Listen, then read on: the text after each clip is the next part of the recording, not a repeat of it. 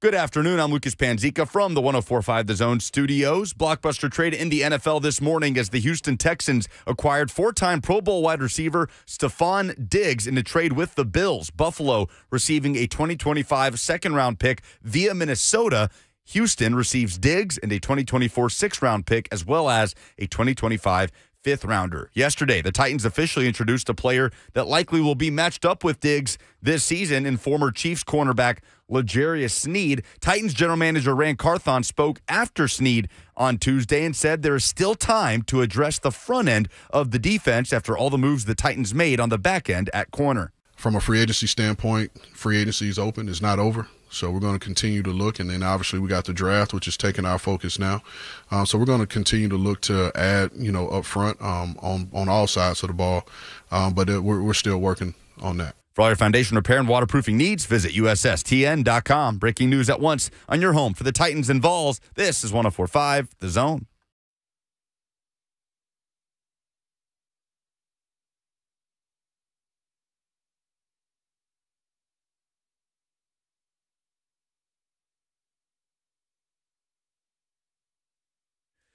Let's go. It's hump day on Blaine and Mickey. What's up, everybody?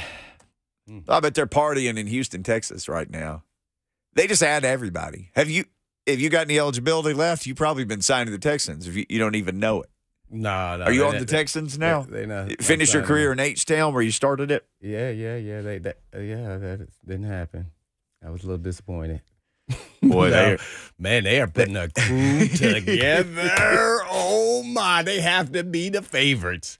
They they going after. They going for it with with their rookie quarterback. There's no doubt about it.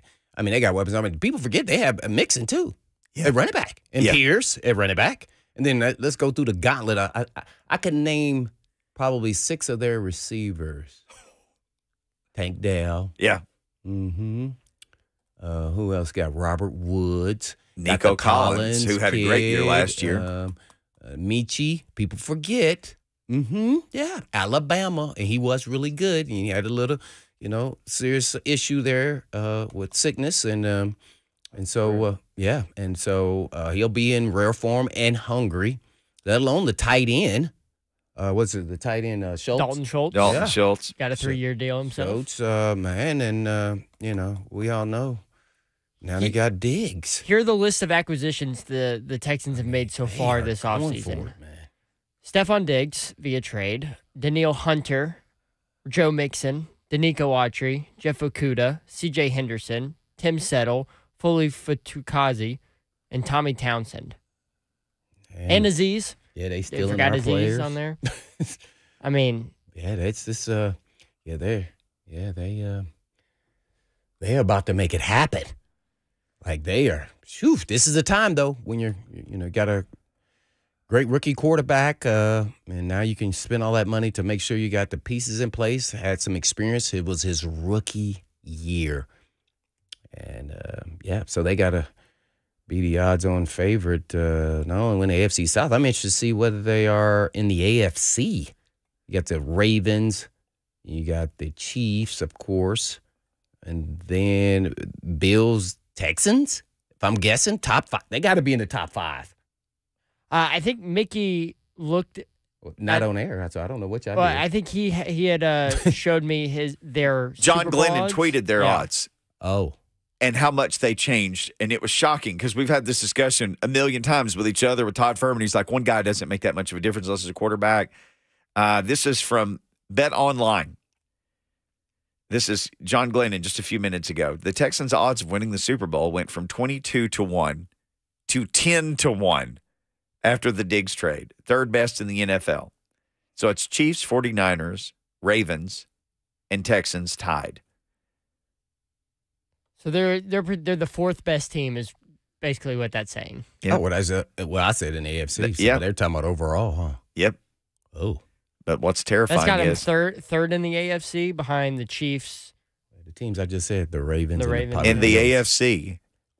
Of, of this is the current bet online odds to win the Super Bowl. Chiefs in the AFC, 49ers NFC, then Ravens, Texans, Bengals, all AFC. So if you're the Titans, you're just trying to win your division, but you're also trying to beat all these other knuckleheads. Just to the AFC is loaded right now. Yeah, yeah, yeah. Well, this is you know, I'm going to say it is rebuilding. You can't uh, get everything done in one year, but uh, the Titans going to be very competitive. I I'm, I believe that uh, I like the direction they're going, and um, so uh, yeah, maybe maybe they got a little. Maybe they got nervous when they signed us signed Sneed because uh, Diggs. Uh, I don't think he did so well versus uh, Sneed. I think he had like 40 yards, maybe. I think uh, last year in two games, I don't think he had a single catch recorded against Sneed as the primary defender. Mm-hmm. That's pretty good. Yeah, That seems good. against the against the Chiefs. Oh yeah, when they in the two games against the Chiefs, so that includes the uh, the playoff game uh, and their regular season game. I think he had five targets um, between the two games, uh, and I don't think he had a single catch when uh, Sneed was the primary defender on Diggs. Right. See how you said that primary. So what that tells me is Diggs is still an elite receiver. He's had five, six, I don't know how many thousand yard receiving games. If you don't have another target opposite of you, you can double Diggs, mm-hmm. take him out of the game, whether it's Sneed or Diggs, or, you know, however you want to do it, until at least when he was with the Bills.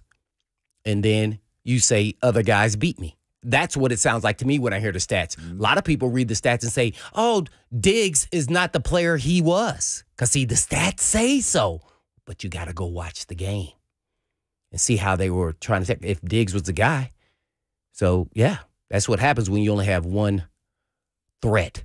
Well, the Texans have multiple threats now. So it's going to be really, really, really interesting. Uh, boy, that just told me uh, the Titans got they got to get the tackle and they got to get a pass. Pass rusher. That's hmm Yeah, that, that that's one two. pass rush. Yeah, Yeah. That, that one two. Yeah, yeah, yeah. You got. I I still think I still think you go tackle at seven, pass rusher at thirty eight. Like Oh, okay. I thought you were gonna say wide receiver. Yeah, no, no, no, yeah, pa- Yeah, I'm, pass, I'm with you. Whatever Yeah. order you want to do it too. By the way, I'm hoping they get to trade back. I saw some different scenarios on, on X, but yeah, I'm hoping they get to get three picks like within the first two rounds, and maybe they even get to get a receiver. That'd be mm-hmm. cool too, or another D tackle. You know, D tackle and a D in with the offensive tackle by moving back. Maybe you don't get alt, but you do get a really good player at tackle. I'm probably going to jump right in that room with you. Yeah, I hope man, for I hope that. that. that happens. If not, boy, oof, I don't know. Yeah, but that, that was pretty cool. Hey, hey, uh, we forgot to. I mean, I saw this all over Twitter about you know how many people watched the uh, women's uh, basketball game and Caitlin Clark and crew. It was the most ever in uh, their history. I think twelve something million dollars. 12.3 million. I mean, a million people. I Yeah. said dollars. Yeah, It viewers. It is all about the dollars. Twelve point three It's always million the dollars. Yeah, because I was. Guess what? I was all tuned in and all over that game. By the way, we didn't even mention it yesterday, so we got to do that, especially for women's sports, because that's why everybody was watching. Uh, super duper talent. But I had text Mickey uh, yesterday, uh, you know, earlier, and uh, like, where do you put Caitlin Clark on the the list of greatest players in co- women's college basketball. You know, I mean, you got Candace Parker. I mean, there's a numerous list Swoopes. I can you can go all the way back to Maya Moore. I mean, you can go down the list. Cheryl Miller. Cheryl Miller. I mean, we can go way back. But uh, man, I don't know if she wins a natty. I, I may put her number one. And here's why I say that because this is what I was asking from Dalton Knecht. See how she dribbles and then sets up her teammates? Think about Knecht. He never does that. He's just a pure scorer and shooter. But then that way you set your guys up, and then now they also become impactful players too. Uh, even though she put up 40, there was, I mean, there was time she could have kept shooting, but she didn't. She set her guy, you know, ladies up and then got them great shots, whether it was layups or good open mid range to three point shots. So that was the next layer to me to push Knecht to take Tennessee to the next level. And that's what you ask of elite players. Not to say that he wasn't elite, but that's how you do it. And man, I I have tons of respect for. And uh, and I I don't know, just because she has the three point line, I may put her at the top. Even without the natty. I I don't know. Like when you go back and look, you know, watch uh, Maya Moore, Ken, most of those are mid range. They're not shooting a three ball like that. It, it- what didn't exist. Sometimes, uh, and you know, if we go back to Cheryl Miller and Swoopes and all those, you know, I'm missing a whole bunch of people, but I think I think she's man. The way she was shooting that thing, I, I was kind of comparing her while I was watching her to like Steph Curry type. She shoots from his range sometimes. Yeah. Did you take into account like the number of like national championships and stuff won, or, Uh, or is that more of a team thing for for you? I don't know. That's why I said if she be, gets a natty, I think she will be number one. I know people gonna smash me with that. Please call in, you know, 737-1045. But man, I the way she was shooting that ball and was so focused and how she was setting up her teammates throughout that time, man, they were running and gunning and they were beating LSU up the floor for layups. It was ridiculous. They were they were pumped up for this one. They were like, Y'all got us last year, this year, no can do. And oh man, did you see the girl who looks exactly like her that was in the in the stands and it I, I retweeted it. Yeah, she looks exactly like her, and she had on her jersey, and the people thought that was her. Looks exact. I mean, it looked like they were twins. Okay. Yeah, yeah. On the on the X, I'm, I'm gonna go back. Yeah, wow. Speaking of uh, women's basketball, like, did you "Man." see Angel Reese declared for the WNBA draft today? Oh yeah, I think that was On the TV when we her, came in, yeah. Yeah, yeah but uh, yeah, man. Whew. Can I She's can I show you what I wrote about that Mama Jamma. after you sent me Wow. that? I understand why Danny White did it. Look at the Elite Eight games: South Carolina, LSU, future SEC, Faux Texas, all there. UConn still up there. Iowa and Caitlin Clark, literally in a different hemisphere. Twelve point three million saw Iowa's victory over LSU, making it the most watched women's college basketball game on record. So many eyes on the games, and your team not there and not looking like it has the path to get there. Yeah, right. To get to that elite level Yeah. like that, they they're they're just not. Yeah, UT. That's why the move was made. I mean, she was solid, but is she elite as a coach, I, Harper? I saw somebody like comparing like Rick Barnes' first five years at Tennessee to Kellie Harper's first five years at Tennessee, and Kellie Harper's resume looked a lot better, more Sweet 16s, more NCAA tournament appearances, and everyone's like, why aren't we holding? Why didn't we hold Rick Barnes to the same standard? It's because it's not the same standard. Lady Vols basketball mm. and Tennessee men's basketball not the same standard at all. Eight national championships for Lady Vols. You got to have higher higher expectations than a couple Sweet 16s in in five years. Mm. Well said. somebody was having this debate the other day, and and it was like something on ESPN. I was walking by the TV. One of those people brought up Breanna Stewart just Mhm. because she won four national championships. She was Rebecca mo- Lobo. I mean, we could talk. Know, most outstanding player four times, three time consensus player of the year. She was fantastic. Rebecca Lobo. I, people don't remember her because she didn't play long in the NBA I know, but she was phenomenal. in college. Go look it up, people. You'd be astounded at what she did. Now those are bigs. Yeah. and, and Clark's not a big. She is shooting. She handles the rock. she is shooting three pointers from the timeline. Uh, it's just I mean, she was two or three steps behind it sometime, and then leaning and just shooting that thing, man. And I mean, oh my, uh, she, whoo, I don't know, man. I, Plus her ability to just pass the ball too. pa- Like, her I- I- passing, her dribbling, just her whole skill. I mean, I, I, I think, man, I think she. I, I, we could kind of go back and you can convince me probably somebody else, but I, I don't want to be in the moment type guy. But wow, she was impressive, man, and has done it consistently, game in and game out, over and over again, even in the bright lights. So I'm, I'm gonna give her. If she wins Natty, I, I'm gonna say she's number one. I, I think she's in competition with you know a whole bunch of other ladies, but she gets that. I'm like, so nah, she's in she's her the top of the career, mountaintop. in her career being at. Iowa, Yeah. she averages 29, 8, and 7. She can do the thing where her feet aren't even really set, That's what I'm saying. and she can still shoot it from ten feet behind. I, I was like, it looks like there's a magnet on the ball that leads it to the basket sometimes. I felt like she's unstoppable. When she's in rhythm, just a matter if she just didn't hit off, she still would have had 25. Yeah. It was- hey, I don't know. We would have Uh, to put bananas out there and see if she could snip, up, you know, slip on a banana peel out there. I don't think she would. I, I, think would not be able bananas to would get guard her. taken to I school. would All get- right, Me I either. would get Justin. Melo is going to join us next. We'll talk draft picks. Let's take these couple of calls real quick, guys. Kevin and then Rick. What's up, Kevin? What do you think about all this? So, I think the best player in college history in, in women's is Breanna Stewart. You just hit that. You just said that. But four-time champion. She was Mhm. four-time tournament uh, MVP. She won. I, th- I think her record. I looked it up the other day. Was like 151 wins, five losses in her career. Four-time champion. I don't know how you could have a better college career. And when you're saying who's the best college player of all time. Mhm. Four-time champion, four-time player of the year, uh, or um, MVP. I mean, um, tournament MVP, and like. What was her averages though? I, I don't know. And she goes on to win Rookie of the Year in the WNBA, two-time MVP in the NBA, two-time champion in the WNBA. I don't know how she's not the best player of all Mm, time. good point. My Okay. favorite player of all time is Diana Taurasi, but So the championships matter for you, best right? player of all time. I don't know how Caitlin Clark. She's what a junior. She hasn't even played four years. I don't think that Mm. She is better. No, she's played as four an years. Overall player than Breanna Stewart. Breanna Stewart wins the game for them every year. Yeah. Okay, Kevin. Uh, point. so uh, Breanna Stewart averaged 17.6 points per game, three assists, and eight rebounds. Okay. Yeah, and probably a way better supporting cast around her.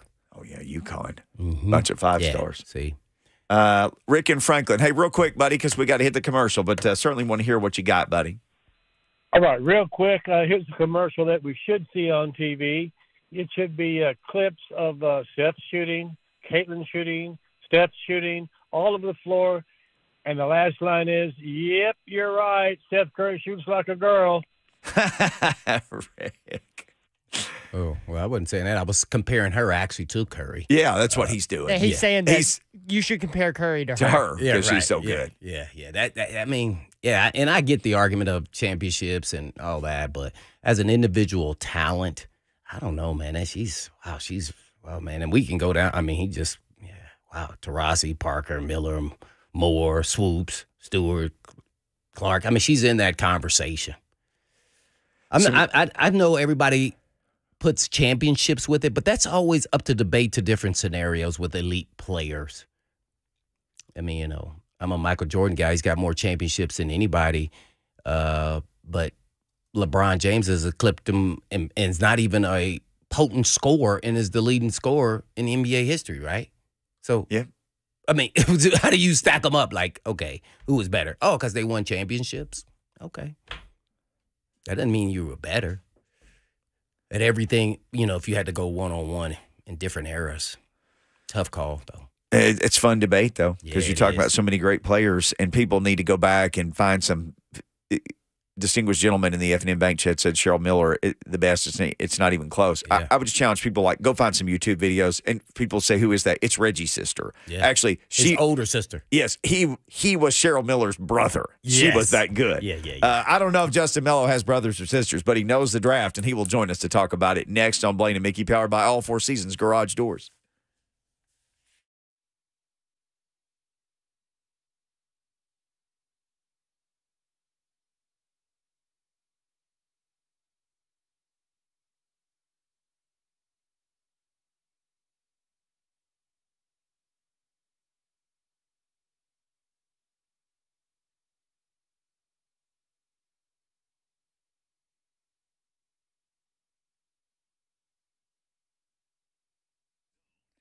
Summer's right around the corner, right? And we are releasing a limited number of lake lots to the public. It's a one day only deal. You remember this. Saturday, April 20th. Experience resort lake living at a fraction of the cost. Uh, two acre wooded lots from $79.9 and lake cottage packages with a boat slip from $349.9 and lake lots with a boat slip from $64.9 private golf cart access to a new marina, and they got walking trails and shoreline that you can walk, and a huge clubhouse, and they have waterfront concerts.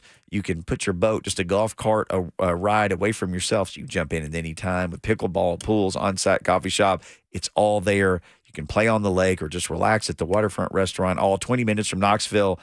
Financing is available. So why not call, secure a private appointment today? Times are limited to enjoy this life on the water and sunshine and boat rides, the lake life and memories you've been dreaming of. Limited property release Saturday, April 20th. Visit us now, lakelivingtn.com, or better yet, call and make that appointment. 865 408 9992. Memories start here.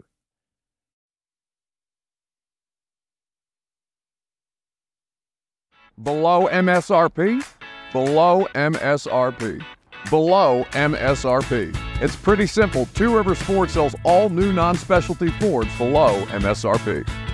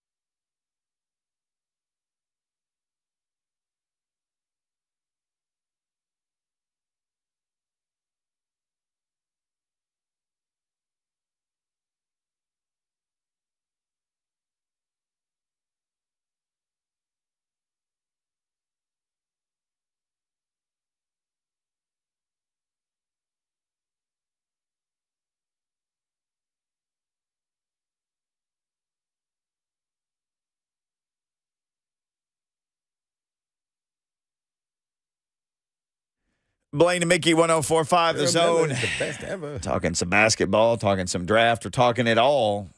Justin Melo joins us now. Uh, draft Network and Titans MCM and Broadway TN. He's so busy. He just works for everybody, and he is at Justin M underscore NFL. You can follow him there. Uh, we got him here. Justin, who is your Titans must have at seven if he is available? Who's your dream scenario for the Titans at seven? Well, I'm going to be a little bit boring here and, and, and stick with the guy that you've seen mocked time and time again. It's Joe Alt, the left tackle from Notre Dame. I know everyone's thinking about the receivers, Malik Nabers, Rome Odunze, and I wouldn't rule that out. In fact, I hope all three of them are available on draft night just to see what Callahan would do, see if he can help himself uh, with drafting a receiver, uh, as as he's very publicly said um, he is prone to doing. But you look at this depth chart at tackle. Did you guys realize? I, noticed this the other day. They've only got three on the 90 man roster right now. That's pretty crazy. And the three of them are, by the way, Nicholas Petit Frere, uh, John Ojukwu, and uh, and Jaelyn Duncan. Those are the three tackles on the roster. Now they they've called Dillon Radunz to guard publicly this offseason. You know, oh. Saahdiq Charles, who they signed away from the Commanders, has played more and has been better at guard. So three tackles on the roster. None of those guys are starting caliber players. I don't care who the hell the offensive line coach is. They've got to add some talent uh, to that room. It, it, it's kind of surprising to me they haven't done it in free agency yet. Um, it's really setting them up to to to, to kind of zero in on a tackle at number seven. I know you never want to be in that position. Ideally, you want to be able to go sort of marry best player available with the need. But they've got such a huge need at left tackle. Um, I, I don't see how they can exit the first round without taking a player like Joe Alt. What are the differences that you have between Alt and Fashanu? How do you have them scouted, maybe the same and differently? Well, I, I think one thing is they're both very good athletes. I think there's no questioning that. You could look at the combine and you could line that up yourself. I will say I, I think Fashanu is a better athlete overall than Alt. He's a better mover in space. I think he thrives a bit more on an island in some of those one-on-one pass pro situations due to his easy athletic ability. Mm-hmm. I think Joe Alt's a significantly better run blocker at this point than Fashanu is. I, again, I think Fashanu is kind of tailor made for a pass happy NFL offense as a pass protector. And that might line up with the vision the Titans have. I don't think it's a coincidence they went out and signed Lloyd Cushenberry, one of the best pass pro centers in the league, and of course, Coach Callahan, you know, overseeing or helping oversee a pass happy offense in Cincinnati. There's no doubt this team wants to pass the ball more.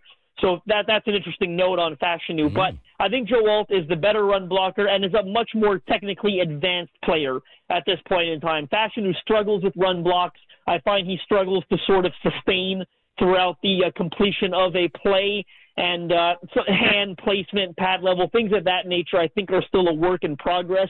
Whereas Joe Alt already looks like to me like a five or six year seasoned pro. This guy was born to play offensive tackle. I mean, his dad was a first round pick uh, in the 80s at that position. So uh, for me, that's one of the major differences. I think Joe Alt is a, a, more finished product from a technical perspective. Hanging out with our guy Justin Melo at Justin M underscore NFL, talking all things draft. Well, Justin, uh, I guess if the Titans trade back, how far back do you think they can go? Let's say 11, 12, or whoever it may be, to still get a, fat let's say, Fashanu. Well, it depends who you're Alt trading. is gone. Alt is gone. So, and then someone offers them a trade, and if they decide to still go with a tackle. Well, it depends who you're trading back with. Like, for example, uh, the New Orleans Saints, who I believe are at 14. Okay. You know, that's a team I could see having interest in trading up. The problem with that, to answer your question, is I think they'd be targeting a tackle like Fashanu, right? Like, oh. they, you know, oh. left left tackle's a big question there now.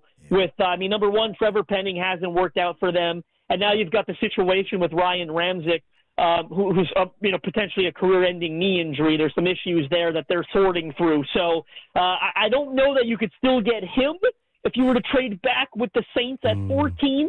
But I, if you're if, if he's the goal, I look at the New York Jets at 10. You know, if they want to come up for a receiver, the the Broncos and Vikings and, Broncos and and Raiders and really Raiders at ele- I think 11, 12, 13. They're all in a row. Uh-huh. One of them might, you know, they're not going to take a tackle to our knowledge. So if they come up for a quarterback, I think you could still trade back with one of those teams and get Fashanu. The key to that, again, I think would be staying in front of the New Orleans Saints. Now, mind you, you asked about Fashanu specifically. There are a ton of tackles in this class, right? If they want to trade back with the Saints at 14 and say, hey, you go get Fashanu, we really like uh, J.C. Latham from Alabama. We really like Taliese Fuaga from Oregon State. We really like Amarius Mims from Georgia. So there are so many Troy Fautanu from Washington. There are so many tackles in this class that project as potential top 20 picks. Uh, they could trade back with really, I think, any of those teams I just mentioned and still get a first round tackle. Mm, Okay, yeah, that's uh, that was good to hear. Then I know it's a deep tackle, let's say draft, at least in the early round, first or second round, but kind of break down uh, Latham's uh, play as well compared to those top two that we've already talked about. Well, Latham is a ginormous man, right? He is a he's bigger than both of them, like you know, six eight, three thirty, three forty, whatever he is. Uh, I, I'll say, and I don't say this lightly. I love this tackle class, and this is a very specific thing, but there isn't a prospect that has better grip strength in this class than J.C. Latham. He is very much Oh. a mauler, a road grader at right tackle. He is a dominant, dominant uh, mauling right tackle in the in the run game. Uh, there are some questions about the foot speed, right, and whether he could survive on an island. Now, mind you, those questions were, were sort of brought to the forefront, or further brought to the forefront, I should say, by the fact that he didn't test throughout this process, right? What does he know, right? What does his agent know? Those decisions aren't mm. made lightly, right? So we didn't get those testing numbers. That's unfortunate. That's where some of the questions arise with him. I also think he is a right tackle through and through. Now, I think the Titans have holes at both positions right now, left and right. So there are different ways to skin a cat, as they say. So there are different ways they can attack that, those positions. Doesn't have to necessarily be a left tackle in the first round. They could go with a guy like Latham at right tackle and solve that position. But I don't think there's a prospect in this tackle class that has better grip strength than he does. Mm, that means holding, right? Justin Melo uh, with at the Draft Network. I guess give me three players on your board now that everything's kind of settled down. That somebody is moving into the first round, someone's moving to the second round, and, and a middle round player that you really like that people are kind of somewhat overlooking or, or, or not talking about. Let's just say us from the media side of it uh, that uh, is really going to have an impact on, on some teams. Well, offensive tackle, sticking with that theme, there's one at Washington, Roger Rosengarten, the right tackle for them, uh, who played opposite Troy Fautanu, who projects as a first round pick, the left tackle. Uh, Roger Rosengarten went to the combine and ran the best 40 out of anyone there, 492. I mean, that's an electric time for like a 310 pound offensive tackle. Uh, he projects in, into that sort of Callahan like system, that zone blocking scheme. Uh, a lot of teams are running nowadays, right? Kyle Shanahan and Sean McVay have sort of uh, made it popular again, right after the Jon Grudens and the Callahans and and and and, and, and Father Shanahan, if you will, uh, brought it to the forefront throughout the early mid '90s. But uh, Roger Rosengarten's one. I think he's got a chance to sneak into the, the back end of the first round. You look at uh, teams like the Chiefs and 49ers, those last two picks of night one, both of them need tackles as things stand. I think San Francisco could do better on the right side. Chiefs can do better on the left. So that's the guy that sticks out to me. Tight end from Kansas State, Ben Sinnott, is another one I don't think enough people are talking about. Electric testing at the combine. In fact, uh, I'd wager to say, and I haven't seen this enough, I think it's going to be the second tight end drafted. Now, I don't think that's going to happen on night one, of course. That's Brock Bowers. But once you get to that second round, a lot of people were thinking the Texas kid. Some people thought the Penn State kid, Theo Johnson, after he tested well. I think Ben Sinnott's the most complete tight end not named Brock Bowers in this class. And then one final one, I think that's picked up steam and has been throughout the whole process is Darius Robinson, the the, Yeah. D, the sort of D tackle hybrid edge out of Missouri. Mm-hmm. I went into his tape in early January. I'm going to say this, okay? Sometimes I, I'd like to think you get good enough at this, you kind of know how something's going to go before you've even done the work, okay? Mm-hmm. I went into the process before I even turned the tape on, and I, I noticed a lot of people were low on him, okay? And I said, okay, what am I missing here? I'm curious to see what I'm missing because the first thing I know is the guy had eight and a half sacks last year at Missouri in the SEC. He's got inside outside versatility. He's got terrific length. he's a get off the bus kind of guy, right? Like he's a very intimidating guy if you see him in person. What am I missing here? And then I turned on the tape and said, wait, I'm not missing anything. Everyone else is sleeping on this guy. This guy is outstanding. Uh, then he goes. What happens? He goes to the Senior Bowl, dominates that. Uh, I thought had a pretty good combine, depending on which position you, you view him as. But he strikes me as a guy. Look, not a lot of bells and whistles, not overly explosive, not a lot of first step twitchiness, but he's violent, he's physical, he's relentless. The motor's red hot. Titans need a body type like his. Okay, he's available. They're at 38 losing Denico Autry, a lot of similarities in their game. He's someone that could play, I think, on the edge in base. You know, I'm looking at base early rundowns. He plays there. He stops the run. I think he's better suited to kick inside on pass rushing downs. But I would end that question with, with Darius Robinson, Roger Rosengarten, and Ben Sinnott at the tight end. Mm-hmm. At the Draft Network, Justin Melo. Uh, how do you have the big three receivers graded out? Uh, Harrison Jr., Nabers, and Odunze as like as far as order? Can I just say I love all three of them? No, all Yeah. kidding. I, I do love all of them. I really do, and I think they're very different. Uh, Marvin Harrison Jr. number one for me. That I mean that's been true for a, over a year now. It feels like I'm not going to change. Uh, Don't, don't let prospect fatigue set in. I see a lot of people get bored this time of year and try to look for things that aren't there.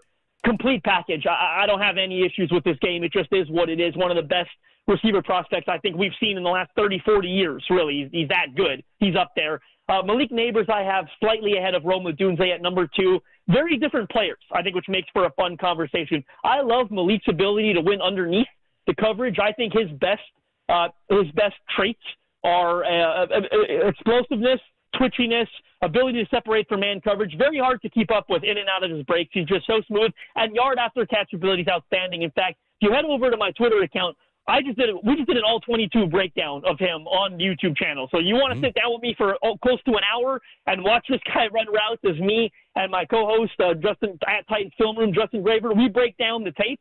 We did that for over an hour. We couldn't stop ourselves. We were so excited about him. Rome Odunze, a different player. I compare him, and it's interesting because there's the Callahan comparison here. I see him as a Tee Higgins like playmaker. Okay, he's big, he's vertical, he's explosive, he's dominant at the catch point. Now, I have no concerns. You know, if you remember Tee Higgins coming out, the question was the ability to consistently separate. He's checked that box, obviously. I expect Rome Odunze to do the same. I don't have those concerns. I think he wins in all three areas. Where he's truly special is dominating the catch point. There's a, there's a rep against Texas from the the college football playoff.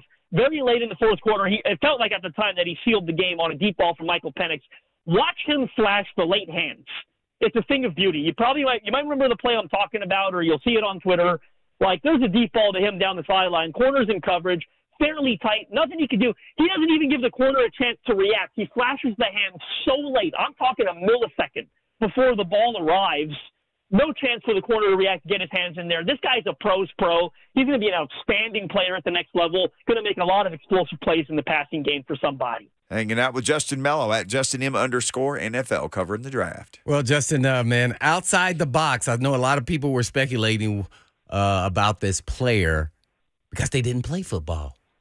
DJ Burns Jr. for NC State. What position would he project in the National Football League? Would it be DN, tight end, offensive tackle, you know, uh, or is he? Uh, he's probably just going to play in NBA. Of reminds me of uh, Zach Randolph, maybe as a college player. But uh, what do you see there? Wow, Zach Randolph. That's a name I haven't heard in a while. Uh, uh, I, I think it was actually Jim Nagy, executive director of the Senior Bowl, who tweeted a couple of days ago that NFL teams would be legitimately interested in seeing him play left tackle, or at least go through drills and practice as a tackle. I mean, big-bodied guy. He's light on his feet for his size, right? We're we're heading into the Final Four here. Everyone's excited. Big-bodied guy, light on his feet. Uh, I, think tackle. I mean, look, if that doesn't work, what do we always say this time of year with everyone? Kick him inside the guard if it doesn't work. Oh man, when you're basketball, you inside a guard. That's a lot of physicality. that's, a, that's, a, that's a tough one there. Now another player I'm going to ask you about, and I don't even know if they're coming out. I haven't even checked, but I've watched him over the years. I know he has some injury issues there at Alabama, but he plays safety. Malachi Moore is he coming out this year? To my knowledge, he is not. No, I Okay. believe he returned to the he returned to the program. He'll be going back for another year. Uh, he is. This is not a very good safety class. So I'll say that we could Oh, have used him in this class. You're not going to get a first round safety. Don't even think about it in this class. There are a couple guys I like on day two. Tyler Nubin from Minnesota, Jaden Hicks from Washington State. Javon Bullard from Georgia is a little undersized, but you really like the football IQ and the scrappiness.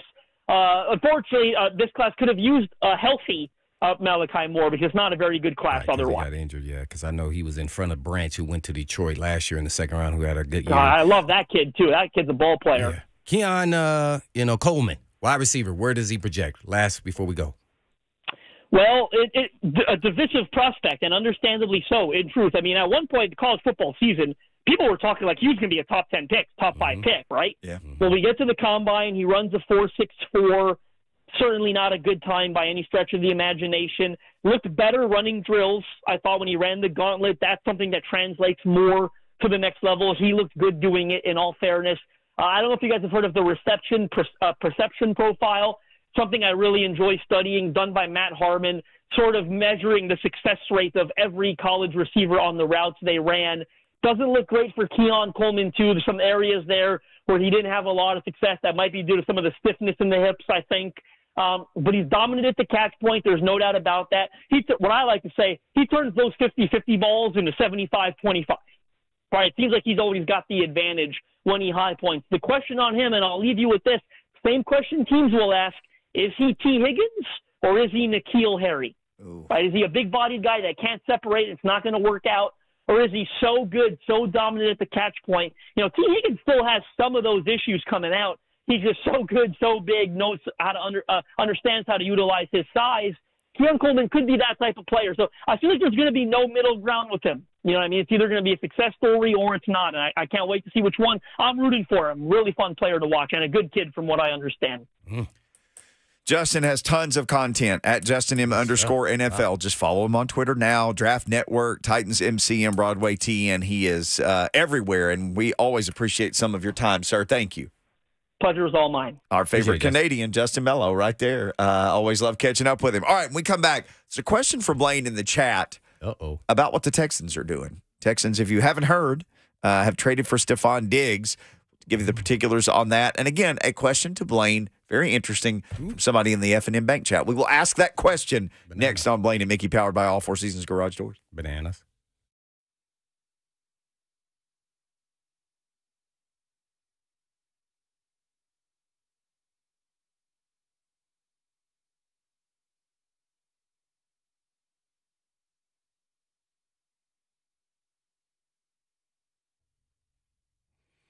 Allergy season is upon us and pollen is in the air. But fear not, Cool Ray has your back.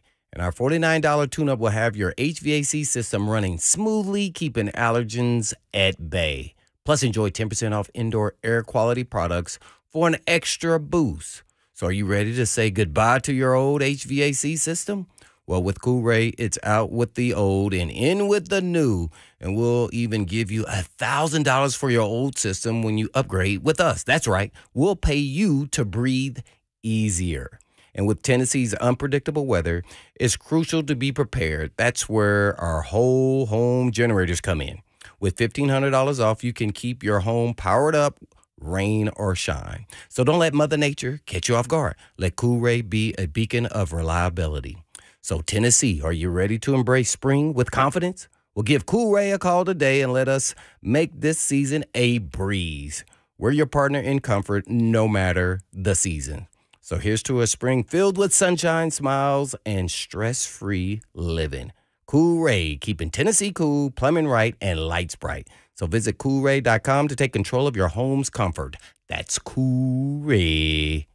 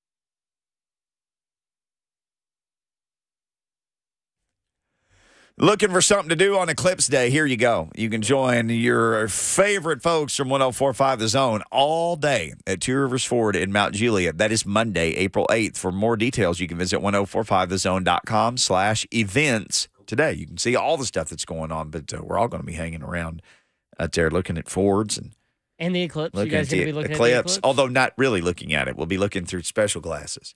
Don't look at the eclipse, right? You That's guys- bad. Do you guys remember the last eclipse? Really? In like 2017? Yes.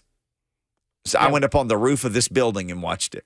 I got out of uh, school. I went did? and sat Yes. in a, Went up on the roof of the Well, that- building. that's why. That's why you need glasses because you went too close. I didn't watch it. I just looked around. If you're at the ground level, I don't. I don't think you have any issues. Just looking up there, it's far far away. Yeah, but you can't look at it. Look It'll at make you. you blind. Like, don't look at it. yeah, the sun will it'll burn your Yeah, it'll burn your eyes It out. really? You- yeah, Yeah. you'll be. I've looked at it every year. Maybe why that's why I got explain- glasses. Yeah, I was gonna say, look, you've got glasses on now. It'll Your, burn eye- your corneas. eyes have holes in them now. I'm like, I'll be driving, just like, oh, there it is. Yep, On can't my do it. porch. And What's crazy though is you think, do what I what's this going to be like? And like the street lights come on, the crickets start chirping. It's nuts. It turns to same night. cricket that was in here. Hundred percent. Bert yeah, left a Bert's- cricket Bert's chirping crickets. sound in here. He He put something in here. That's what they're telling us now. Our man Bananas was in on this. I may or may not have been in on it. You you stinkers. Yeah. Stinkers. That's the Mhm. radio friendly way of saying it. Uh, Stefon Diggs to the Texans. The Texans uh, have acquired Stefon Diggs. There's an account on our F&M bank chat called Stupid, but yeah, Mm. that's what it is. Oh, that, that's my So we'll just say SBY said, SBY. Blaine is a player. How do you cope with a rival doing everything you've done to improve, but then much more? As a fan, he says it's extremely discouraging, especially while we are still in purgatory, which I'm sure he means rebuild. Uh huh. Uh, players don't. I mean, players just think Mm. I'm going to get better and we're going to win. That's what we're. But fans certainly get tied up in stuff like this. oh, no, no doubt, no doubt about it. Um, as a player, you know, I, I would look at it as a drive just to continue to get better. Uh, I mean, man, you could say, "Oh man, they're going full force, man. We, I gotta get, we're gonna, they're gonna be throwing the ball a lot, man. I'm, I gotta get ready." right. yeah, you know, so I, I don't think we ever, as players, looked at like they're getting ahead of us and we're falling behind. I think that's what he's really trying to say, because you you don't have control of it. You know, it's the you know the GM and the scouting department versus theirs, and we're at different points of where we are with our team compared to their team. So. I I think most players just kind of departmentalize and just kind of control what you can control, really, at the same time, because it's this is a business where it's about your production mm-hmm. as an individual. So if you don't stay on top of your game, it will end really quick. So can't seem to worry about that as much, but you are watching the moves. You're you're watching the draft even, let alone you know your team, other teams, and everything else because you kind of watched you know college ball, especially the elite players uh, that go high in the draft. So you always kind of want to get an early jump on scouting those those guys. So yeah, I, I, I, you don't even think about it to be honest. I yeah, it's like dang it, they got another player. Oh, I got to get ready. Right. Being the defensive back, they got all these receivers. Sure. I'm like, oh man, I better get get my cover skills down pat. So that's your division. So you're thinking, okay, I'm going to go pull some tape on Diggs because I know I'm going to see him twice next Yeah, year. most Yeah. players believe they can beat him regardless. That's it's a team sport. So Yeah. ultimately, you, you know, there's a lot of factors on why you win, regardless if you have the best talent or not. Always the best talent doesn't always win. The best teams do, especially if you you know you play without error. That means like turnovers and things of that nature. I definitely know Sneed and Uzi are probably out there just like, I'm going to go beat Diggs now. Yeah, uh, DHB Wait, you know, in the chat says put Sneed on Dell and Cheeto on Diggs and McCreary on Collins and let's play ball. Well, doesn't, got it all figured out. doesn't Dell, Tank Dell play more in their slot? Well, or is he, is he an he was- outside guy? Uh, he moved. They they moved the guys around. I mean, doesn't doesn't really matter, man. When you're in the pros, man, everybody's really good. You got to bring your best. It's who got your A game that day. You know, really, that's what it's all about. You know, you can try to match up, but during the regular season, most uh, teams try to just play your side, and then when you get in the playoffs, if you end up meeting up, you know, you kind of kind of do that then. So the Texans are making moves, a new wide receiver. We talked a little bit about this. What does this mean for the Titans? Maybe did they lean a little bit more towards pass rush early in the draft? We can get into that and more. Kevin wants to weigh in on it 615 737 1045. That will get you on the Blaine and Mickey show as we start the second half of the Hump Day show next.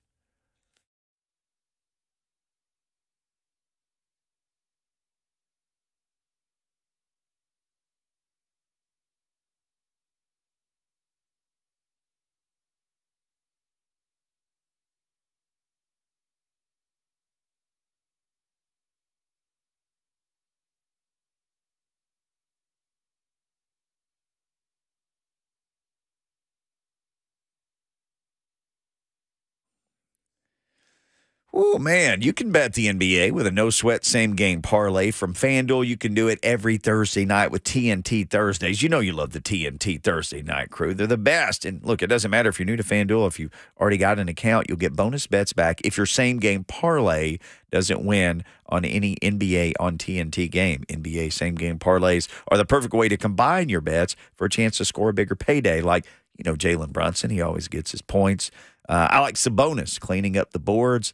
I like the Knicks to win, though, and what should be a fun Thursday night matchup. However you want to play, though, you just head to fanduel.com slash Mickey. You can bet the NBA, too, with a no sweat same game parlay with TNT Thursdays. Again, that's fanduel.com slash Mickey. Make every moment more with FanDuel, an official sports betting partner of the NBA. Got to be 21 or older.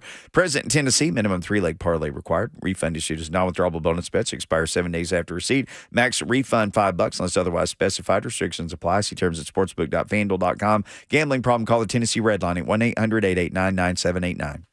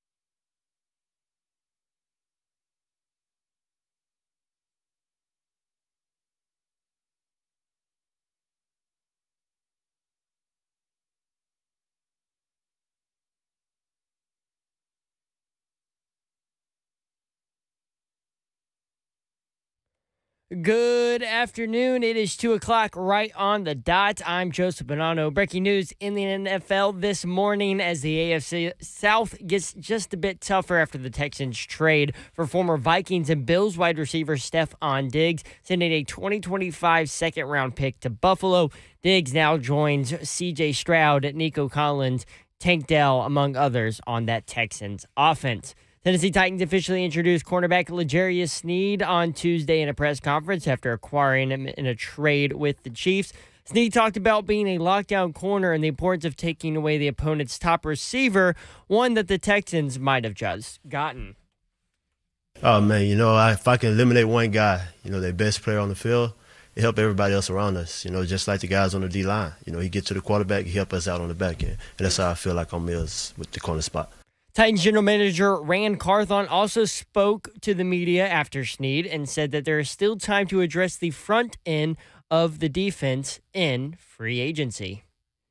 From a free agency standpoint, free agency is open. It's not over. So we're going to continue to look, and then obviously we got the draft, which is taking our focus now. Um, so we're going to continue to look to add, you know, up front um, on on all sides of the ball, um, but it, we're we're still working on that. Nashville Predators dropped a three straight game, a third straight game with a 3 0 loss to the Bruins last night at Bridgestone Arena. All three goals coming in the third period. They'll take on the St. Louis Blues tomorrow night. Nashville Sounds played their home opener on Tuesday, finishing out the game through the rain delays and winning 5-4 over the St. Paul Saints. They'll go again tonight at 6:35. For foundation repair and waterproofing needs, visit USSTN.com. Breaking news at once on your home for the Titans and Balls. This is 104.5 The Zone.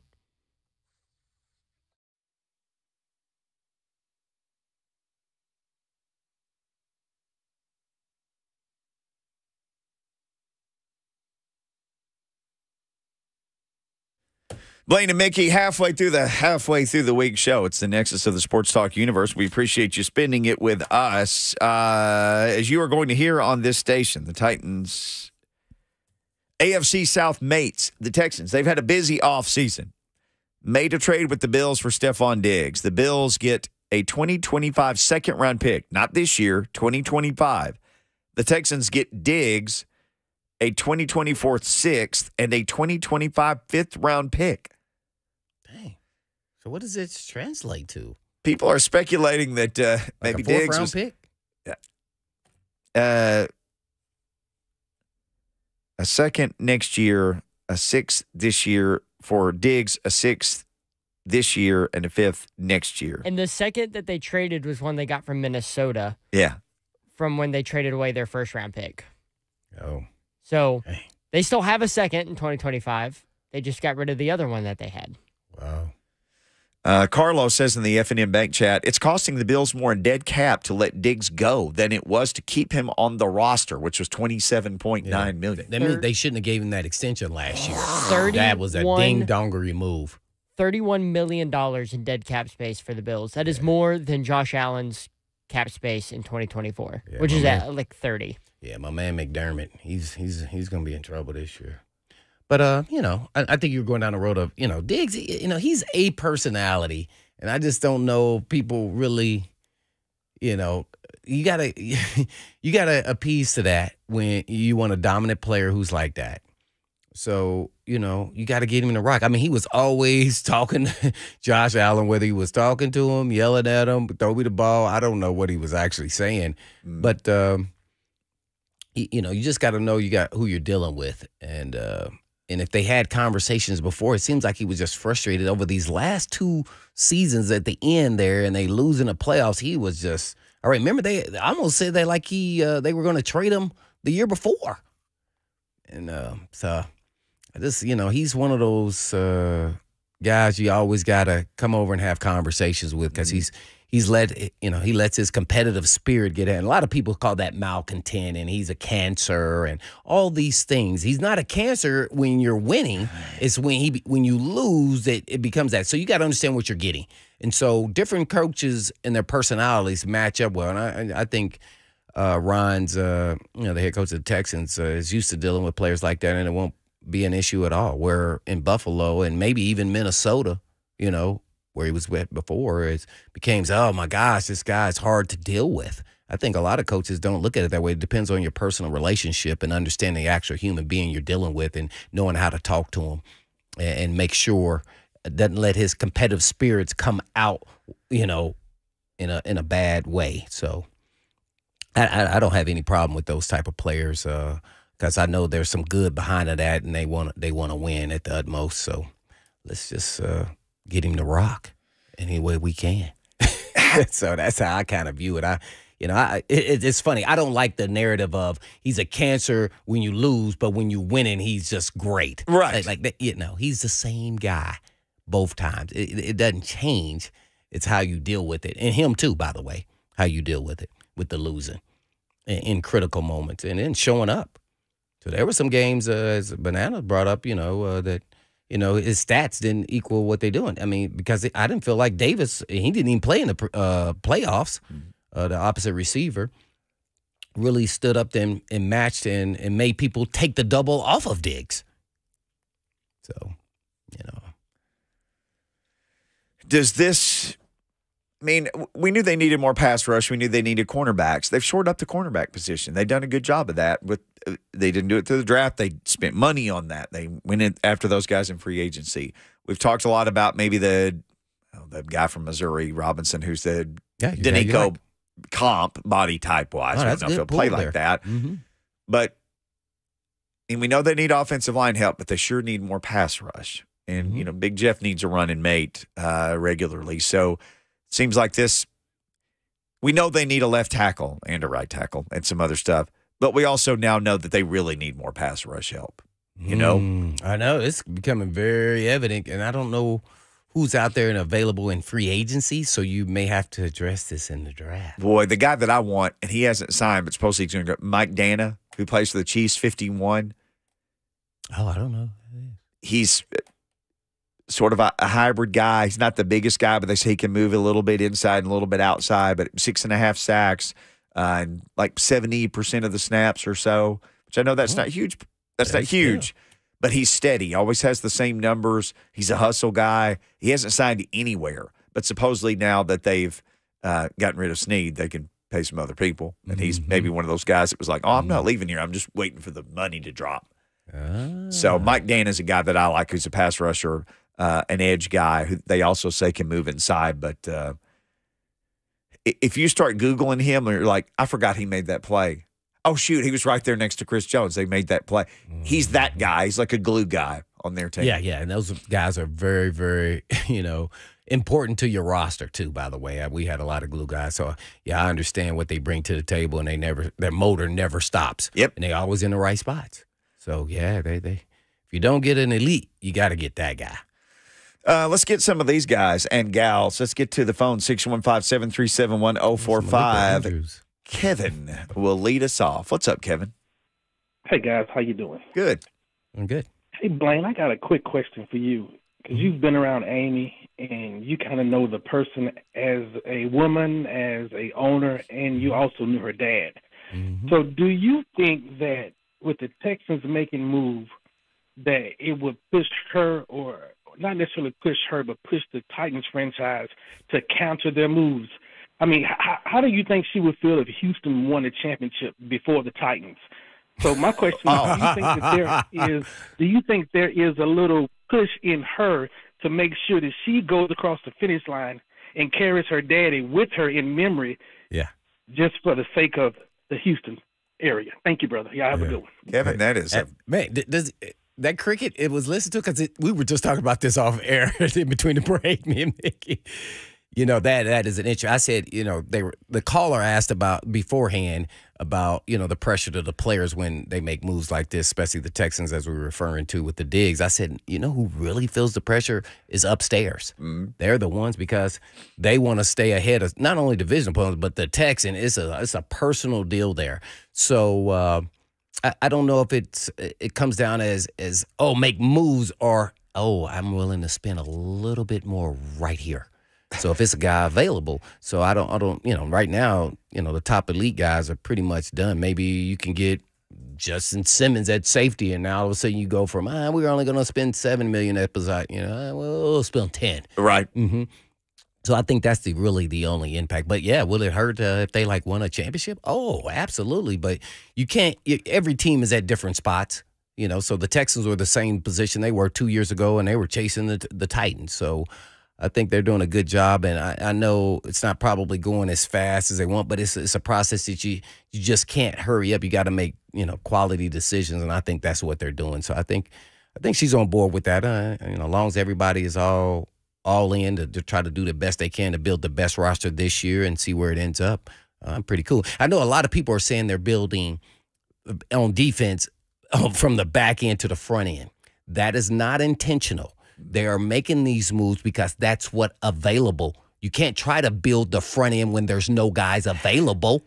I mean, let's use common sense here there is nobody available that they like to spend that kind of money. So they say, well, but there are some secondary guys. So eventually, at some point, we got to get our front guys. Now, you're going to try to piecemeal it along the way, but you can't force it. Mm. And that's when you can go wrong and, and make some bad decisions. So I think that's why I say I think they're making some good decisions. Now, by the way, you sign these corners, and you know, next thing you know, if you don't get any pressure, they're still going to get beat.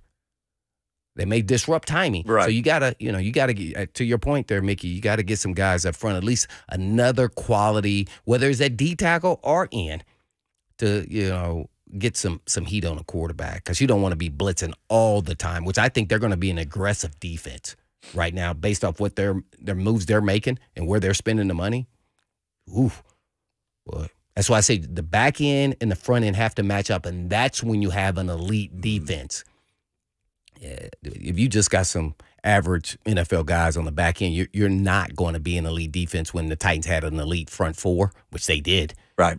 Going into last season, it was never going to match up that way.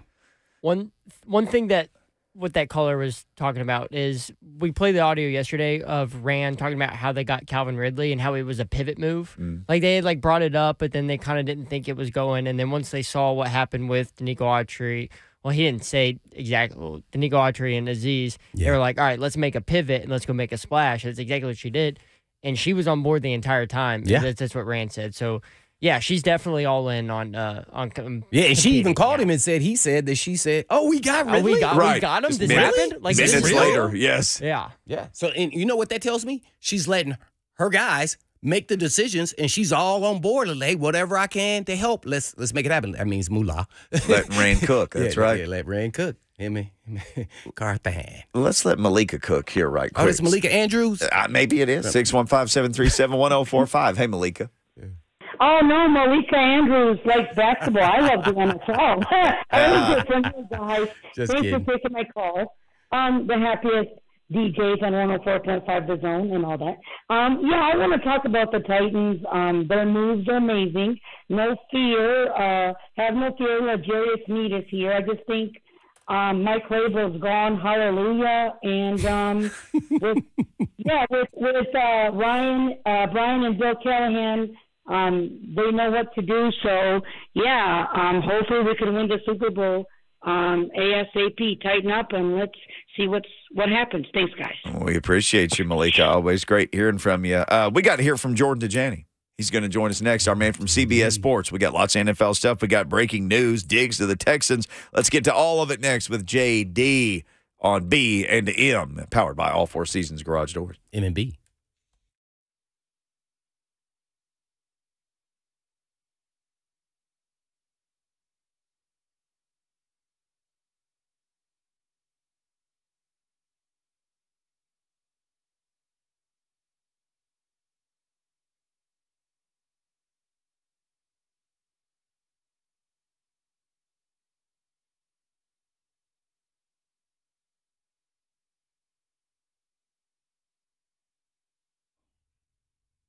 Did you know Eurofix has a very different business philosophy?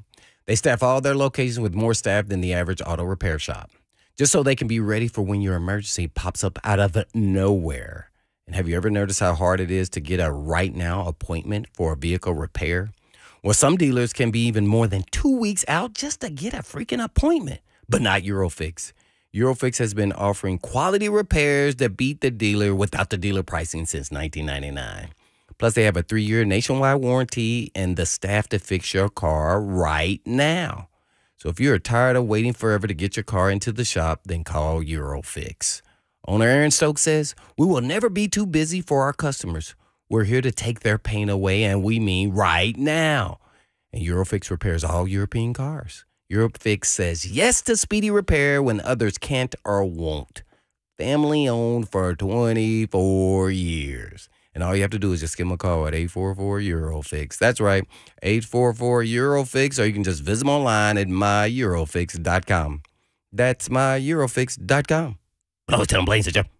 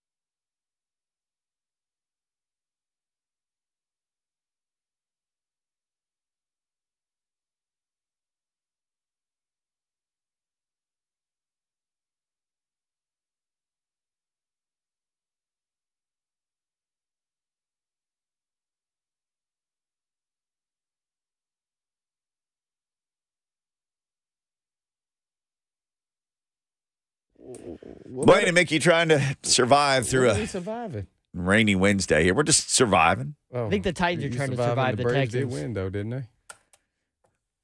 I think yesterday we all great. survived. We anybody who was affected by those storms, man. Thoughts Yeah, and uh, thoughts to you, prayers to you. We kind of dodged a mess here in Middle Tennessee, though. So, uh, whew, that was some scary stuff. Mm-hmm. Jordan Dajani, he was out there watching the weather. I actually saw him tweet about it yesterday. JD uh, with CBS Sports, we dodged one with the weather yesterday, man. What's going on, guys? Thanks for having me on the show. Hope you're surviving and thriving at this time of year. Yeah, you know, you talk about the weather yesterday. There's no doubt that we dodged the bullet. I was one of those guys kind of rooting on the tornadoes, though, to take the pollen out of the air because I'm so allergic to the stuff that is in the air this time of year. Spring is not my favorite time of year. So we definitely needed the rain, and I'm excited that we got some yesterday. Oh man, you just going to make me cheer for tornadoes now because the pollen just destroys my allergies. But so after tornadoes hit, that that takes the pollen away. The rain doesn't do it. Well, I- the, the rain definitely does it. It'll give my Rain makes car it a worse. nice wash, so it's so it's gray instead of yellow again. But all I know about tornadoes are that they are big windstorms, and that windstorms can take the pollen away from my house, which I'm a big fan of. Oh. I'll take my chances uh, about that for sure. Uh, Texans are taking their chances on everybody. Uh, although, well, they didn't have to trade too much to get Stefon Diggs. What the heck is going on there? The Bills eating a bunch of dead money. What what's going on? Yeah, my goodness. When you look at this trade compensation just at face value, it's pretty eye popping, right? Mm. The Bills are sending Stefon Diggs, a four time Pro Bowl wideout, plus a 2024 sixth rounder, 2025 fifth rounder, all in exchange for a 2025 second rounder. It's not even a second rounder this year, a, a second rounder after Houston wins the Super Bowl next year. Just kidding. I'm, I'm kidding. Oh, But- man, you hurt people's feelings. But, oh, that. I know to Titans fans don't want to hear it, but but uh, but Houston's done a tremendous job this offseason. Yeah. I mean, if you asked me before even this acquisition, um, the team that had helped themselves the most through free agency, I would have argued about the Houston Texans. And, and in fact, I even wrote a column uh, a couple weeks ago about five underrated storylines we are not talking about enough in the NFL offseason. And one of those is about how the Houston Texans are doing things the right way. They got their franchise quarterback in place. They know that he's going to be a star. So when this guy is coming cheap on his rookie deal, this is when you attempt to go all in, not just on the offensive side, on the defensive side of the ball as well. And the Texans have made some splash moves, right? Danielle Hunter, Joe Mixon, now Stefon Diggs. But a reason I really like what the Texans have done is some of these under the radar signings, right? Some of these re signings, whether it's Tim Settle, Mario Edwards, Foley Fatukasi on the defensive line. They also re signed Derek Barnett, ball legend, re signed tight end Dalton Schultz, took a flyer on former number three overall pick Jeff Okudah in the secondary. I really like what the Texans have done so far. And this acquisition of Stefon Diggs just shows you that further that they are all in. They're trying to be legitimate contenders in the NFL. Hanging out with our man Jordan Dajani here on Blaine and Mickey. Yeah, yeah. Bananas came up with this question. Uh, he texted us earlier in the show, man. Which team uh, you just maybe gave us the answers?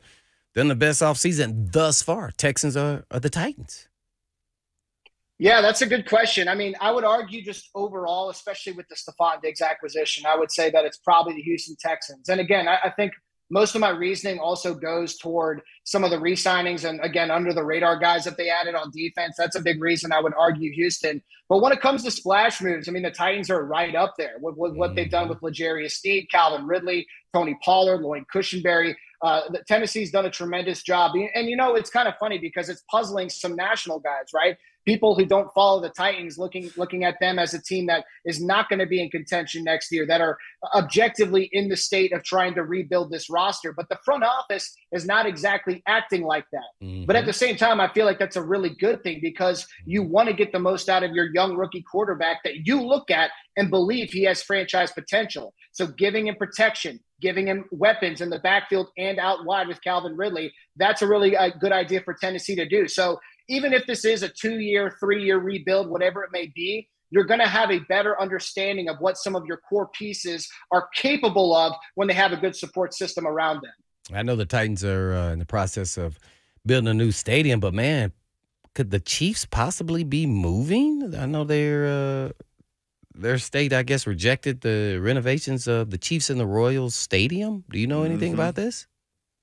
I did see this headline, and to be honest with you, I didn't really look too far into it because, you know, we've run into some situations with really good NFL teams that are very similar to this Uh-huh. before. If you remember last year or two years ago, we talked about the Buffalo Bills potentially, Mm. you know, relocating and going somewhere else. But, you know, I always stuck to my gun saying, listen, Buffalo has a tremendous fan base. They have a great sense of loyalty. A lot of this can be politicking, right? When it comes to renovations or building a new stadium.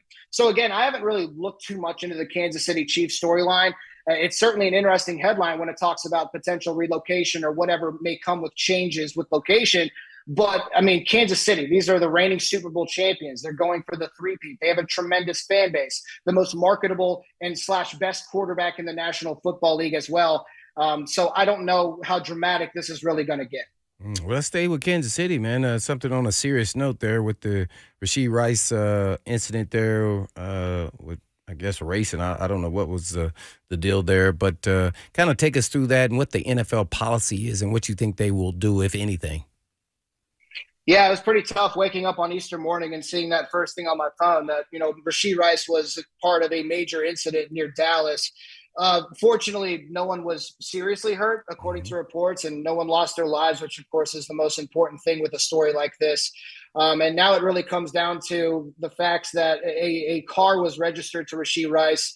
We don't know if he was driving, um, which I feel like might be a really important thing to focus on as this investigation continues to progress. But man, I mean, if, if everything that's being alleged is true, like you can't be this dumb as a as a young man with so much power who has your dream job to be putting other people's lives at risk to street race. It's just something you're not supposed to do, especially when we're on the heels of the Henry Ruggs incident and other mm. tragedies that have happened around the NFL. You, you gotta be you gotta be careful with how you interact and how you deal with yourself off the field, man. So that's a that's a really scary story. Something that definitely didn't I didn't want coming across my phone. But you know, the Chiefs have vowed to really get to the bottom of what exactly happened. But if they get to the bottom of it, and, and Rashee Rice is responsible for a near tragedy, then you have to imagine that some kind of significant punishment could be handed down not only by the Chiefs but by the NFL as well. So when we have more details about this story, it'll be better to it'll we'll be in a better position to speculate on what potentially could happen. But yeah, not a good story at all. A couple of fun questions after something serious like that. Uh, this, you know, naturally this was uh, for Mickey, but uh, rumors that the Browns are going to be switching to the white face mask. That led me to think about As it should be. Do you you like that? And who in the NFL has the best helmets?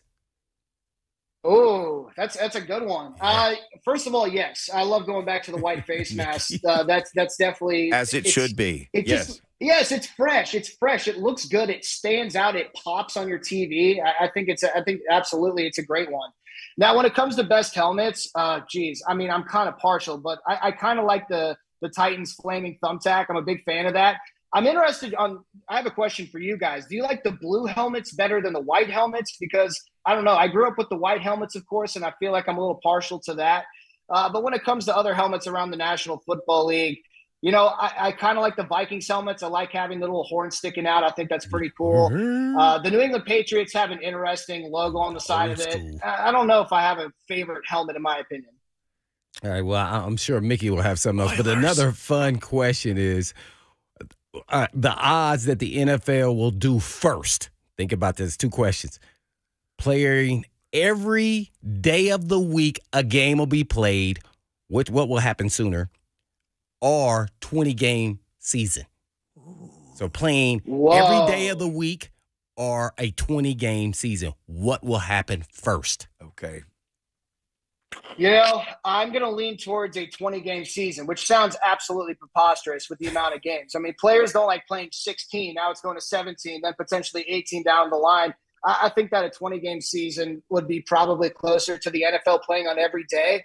But you know what's interesting is that if we're speculating on both of these, you know, possibilities, one thing that go could go hand in hand with this is league expansion and league expansion not mm. only in the U.S. but maybe internationally. Exactly, overseas as well, because that will give you more flexibility when it comes to playing on certain days. being more flexible with bye weeks as well further into the season, and then also just more games in general, um, having more teams doing that. So I think that expansion, again, not only in the U.S., but potentially overseas, whenever that comes, I don't know how close that is, but I'm sure that the NFL is exploring it as it continues to try to you know, increase its global footprint. And we're seeing that with international games as well. NFL writer Jordan Dajani bringing the heat. Um, I saw you uh, had made note of this. Aaron Rodgers made a cool eighty-one dollars and fourteen cents to carry out the flag for the uh, Jets last year, and Brock Purdy doubled his salary essentially out of the same pool of money. yeah, how about this? I you know, this is something that I feel like a lot of people aren't aware of, but the NFL's performance-based pay system, which it has to do with your performance, of course, but also it has to do with number of plays as well. If you're getting significant playing time, you're going to have a chance to up those numbers. And you know, someone like Aaron Rodgers, who's already signed to a lucrative contract, he doesn't seem like a player that's going to make a lot of money coming off of just the, the flat number of plays played. But I guess whatever it was, what was it, four snaps he played before he suffered that season ending torn Achilles? That's worth $81.14. He's getting paid by the hour a lot better than I am and a lot better than other people are around the world as well. So, yeah, I made that joke that, you know, the highlight of Aaron Rodgers' season, unfortunately, was him carrying out the flag for that night game on September 11th because that, cause that was a pretty cool moment. And yeah, he made $81.14 for doing that. I don't know if he's making $81 an hour, but L'Jarius Sneed got his new deal. The financials have been announced, and we've all heard from him. Just kind of your thoughts on the L'Jarius Sneed now that there's a bow on it. He's officially a Titan and everything. I'm super excited, and I can tell by your guys' coverage of it yesterday on 104.5 The Zone that you guys are as well. I think that this is a massive acquisition for just a number of different reasons. I mean, we've talked about how Tennessee has been lacking on the back end defensively for several years now, and you go out there and you sign maybe a top five, at least the top 10 cornerback in the National Football League, while also adding another boundary cornerback earlier in free agency. That's a huge deal. And this is someone who has championship aspirations because he's someone who's done it before twice with the best team in the NFL. So he's not only someone that's talented and can be a very versatile chess piece on the defensive end, but he's also someone who knows how to lead, right? And he knows how to foster that kind of culture that's going to be successful in today's NFL. And that's the thing we're not talking about enough when it comes to this acquisition is that L'Jarius Sneed knows how things are supposed to be done. So you're adding a very important voice in your locker room um, who can really take this defense and take this franchise, this team to another level. Hanging out with Jordan Dajani of CBS Sports here on Blaine and Mickey, just like we do every Wednesday at this time. Mm. Well, under the radar signing because you know you cut one player who was an elite player, then to sign another one, and that is Aaron Jones, a running back for Green Bay, released, and then Josh Jacobs signed immediately right after that. What was going on there with Aaron Jones? What he they wanted him to take another pay cut, or what happened there? Yeah, I'm sure they probably wanted him to take a bit of a pay cut. You're you're getting significantly younger at the running back position, and okay. as soon as those guys get 29, 30 years old, is when you want to start to look for an out. And I think that's basically what Green Bay did because I believe Aaron Jones is 29 years old. Um, I saw some interesting comments coming out from uh, Titans legend Matt LaFleur saying that he was a little caught off guard by the Packers cutting Aaron Jones loose. Uh, I don't know how much I really believe that because he's someone who's probably in lockstep with the path the organization wants to take. But I, I think the more interesting part about this is, is the contract that they gave Josh Jacobs because if you guys recall, um, I, I, was not believing that running backs were going to find any kind of you know financial growth yeah, when it came to their market this mm-hmm. offseason. But they but a couple of guys did with Saquon Barkley and Josh Jacobs. And again, we can spend an entire segment on the running back situation, but it's pretty interesting that Green Bay wanted to put some financial resources into Josh Jacobs because if you give your young quarterback in Jordan Love that support system of a legitimate ground game, that's going to lead to him and, eh, or excuse me, it's going to lead to expediting his growth as a young quarterback for sure. So I think that was a pretty interesting thing for the Packers to do because, again, I was really curious to see how the running backs were going to fare in free agency. And at least two of these guys did really well for themselves. Well, I was curious. Haason Reddick uh, also got traded from the Eagles, I think, to the Jets. What, what happened? Was he not just a scheme fit for the new DC? I mean, he's a you know quality player. Yeah, absolutely. And, you know, it was interesting because we've seen this story pop up a couple of times this offseason. Haason Reddick asking for a trade and saying he wasn't asking for a trade and he wants to remain with Philadelphia. And ultimately, uh, he ends up getting dealt to the New York Jets. So, you know, it seems like there was a lot of Eagles players who really didn't like the system that they were playing in in 2023. Now, of course, it's going to be an entirely different system with Vic Fangio at the helm. But Haason Reddick, to your point, ha- has been a, a productive player no matter where he's been. Um, and so adding or adding him to so, someone like the New York Jets, a, a, team that, in my opinion, has one of the most underrated defenses in the entire National Football League. They did lose one of their pass rushers in Huff this offseason. So filling filling his shoes with Reddick, someone who's been there before, is something that's really going to help this Jets team, which again, not only their defense, but I feel like the New York Jets have been one of the more underrated storylines this entire offseason because we were so excited about this squad last offseason when they added Aaron Rodgers. He goes down with his torn Achilles. What exactly are we expecting from this team in 2024, right? Aaron Rodgers has this superpower when it comes to proving the doubters wrong, and he's got the backing of one of the best defenses that's only bolstered by the addition of Haason Reddick. The New York Jets are going to be one of the more intriguing teams to watch in 2024.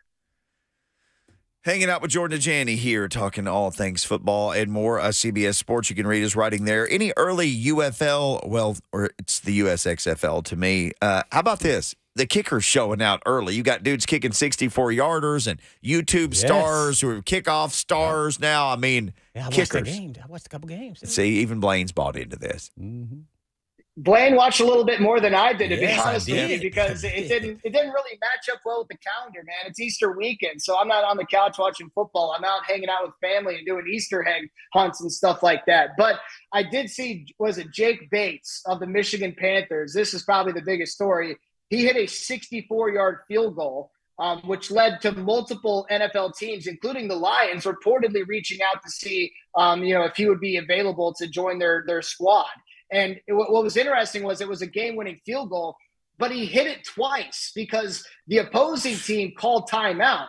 And this was apparently his first field goal attempt since high school. And there's only two kickers in NFL history who have hit from that distance or further, meaning Jake Bates is, of course, Canton bound. So now there's NFL interest around this kicker. Um, so that was a pretty cool storyline to come out of it. Another thing that I noticed was, you know, we're talking about um, transparency when it comes to officiating, right? These refs are mic'd up, and we're hearing the entire process when it comes to throwing the flag, what exactly you saw, relaying that to the head official, and then, the, of course, the announcement over the, the speakers.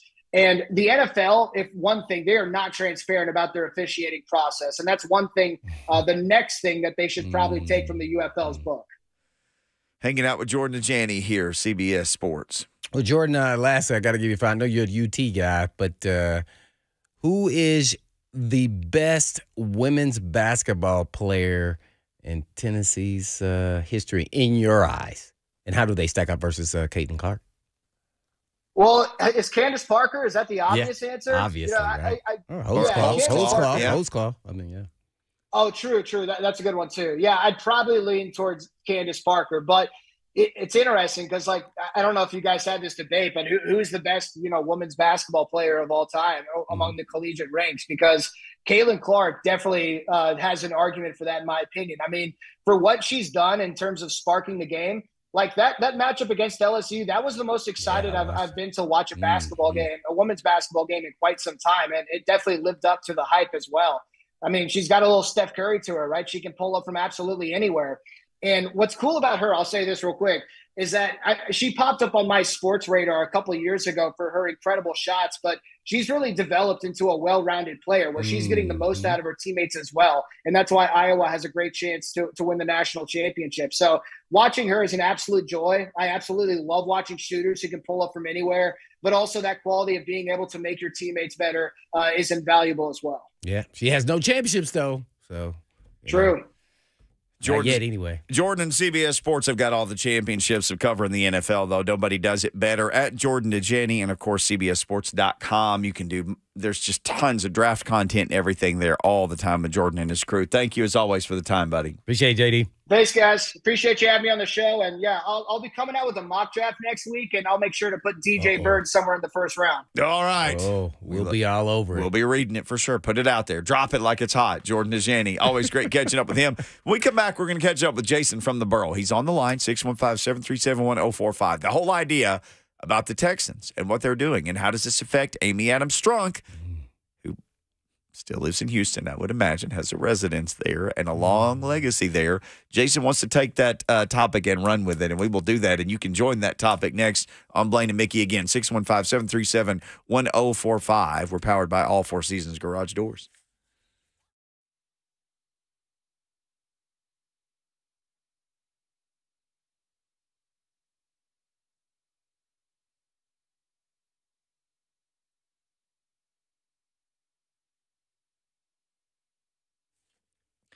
All right, here's what's going on with me. It's coming in, laying on the couch, going to sleep after work, not at bedtime. Then bedtime came and I had trouble going to sleep, had trouble staying asleep. Just didn't feel like myself, tired all the time. So I went to see the good folks at Edge Peptide Therapy. Now, Edge, they're going to check your levels on a whole lot of things, including testosterone, because a lot of people are experiencing low testosterone. It seems to happen earlier and earlier in men. But I also got my vitamin levels checked and other things. Turns out I'm super low on B12.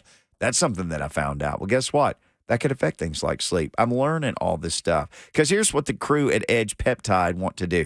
Their goal is to make bodies feel better from the inside out. Hormone therapy, peptide therapy, regenerative therapy, and so much more. And right now, just go make an appointment. They're doing an everyday low pricing of 99 bucks a month for testosterone therapy. Look, you can't take care of everybody. You can't be Superman if you don't feel like yourself. So go to edgepeptide.com or call now and make that appointment 615 724 1878.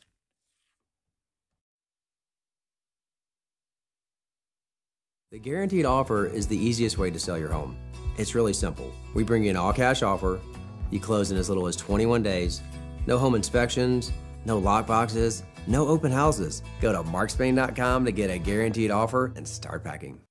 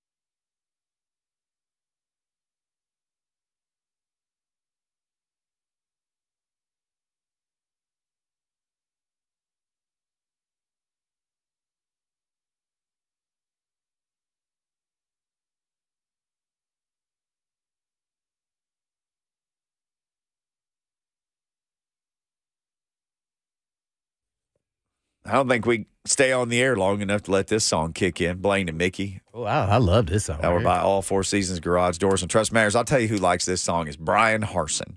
This was on every pregame playlist. This he love he loves this song. Yeah.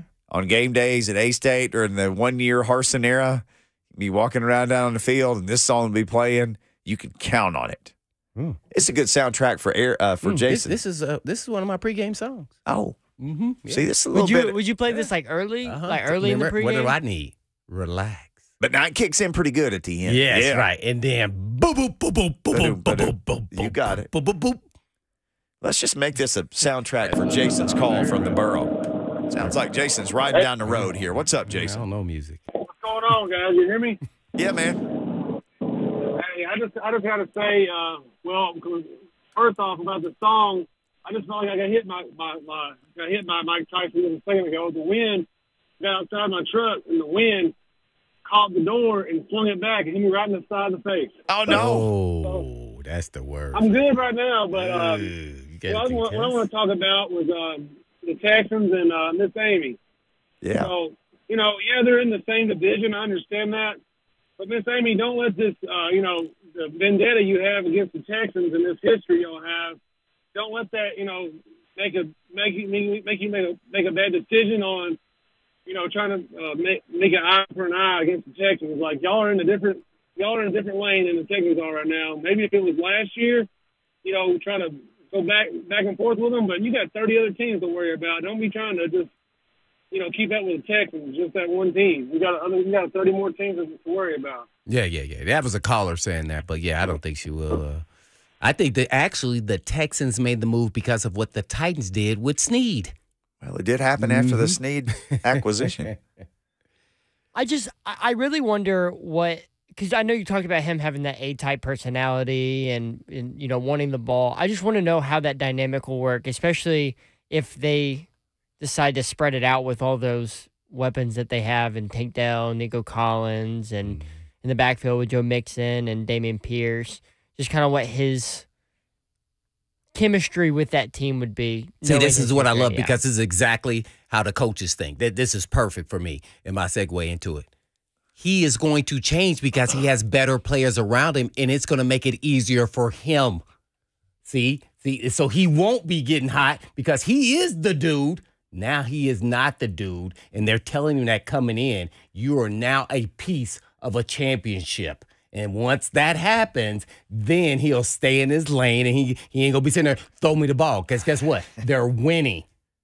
See? That that's what people get confused of. Oh, he's gonna still say he wants the ball. No, we have three other, four other guys. Guess what? Some of y'all go down. Guess what? We ain't gonna be pressed. So either you come into our culture want to be winning or do you want to be a loser? Uh-huh. And that's the conversation you have with them up front.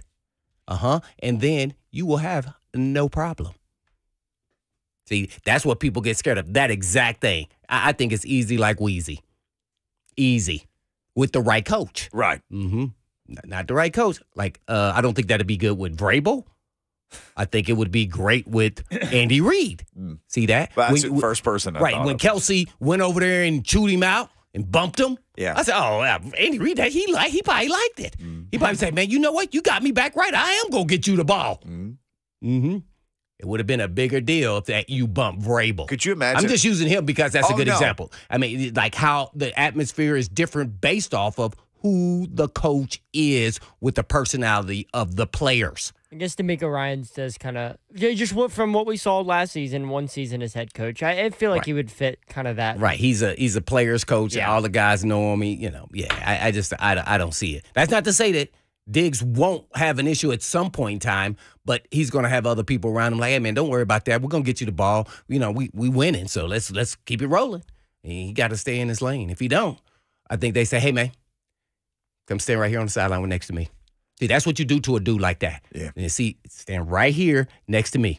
I'm gonna put you in when we're ready. When you ready to calm yourself down. hmm That you got to check them. You don't you don't run from them. You say, "Nah, we had this discussion before, and we got you. This is how it's gonna roll." And see, what happens is you build that trust and that relationship. That's the key that most coaches don't get at any level. Won't happen. We're gonna see how it goes because they sure got Diggs. Mhm. They got a And- bunch of guys. And you get all what comes with them. Yeah, you, you do. know that when they traded him. Yep. They, I mean, he's not going to change. Yeah.